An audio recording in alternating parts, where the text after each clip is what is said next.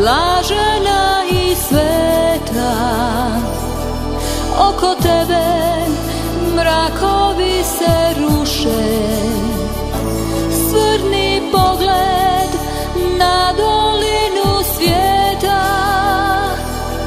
Blagoslovom okrijepi nam duše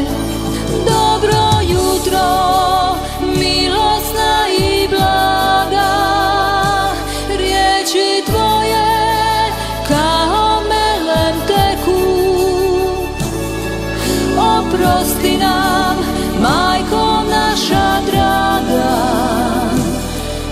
Što ti srce grijesi, djece peku. Dobro jutro, gospe Međugorska. Vraćaš radost u naše živote. Svjetlost tvoja krasinje dragorska Dobro jutro, kraljice ljepote.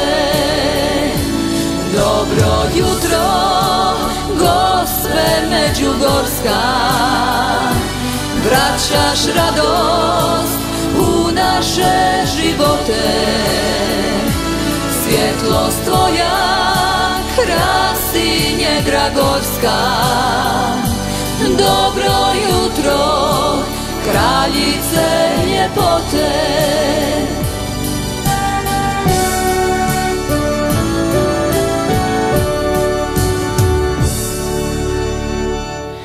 Dobro jutro, utjeho i nado. Snaga vjere pod brdom se pruža.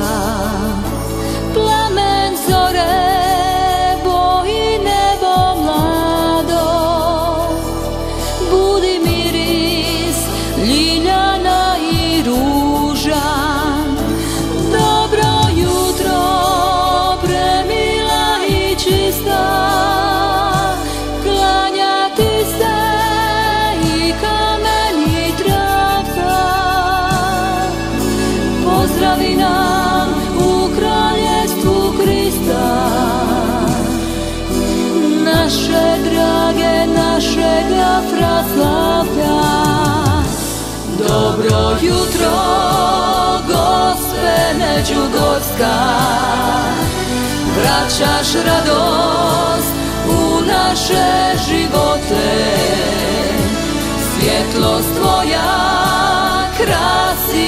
dragorska Dobro jutro, kraljice ljepote.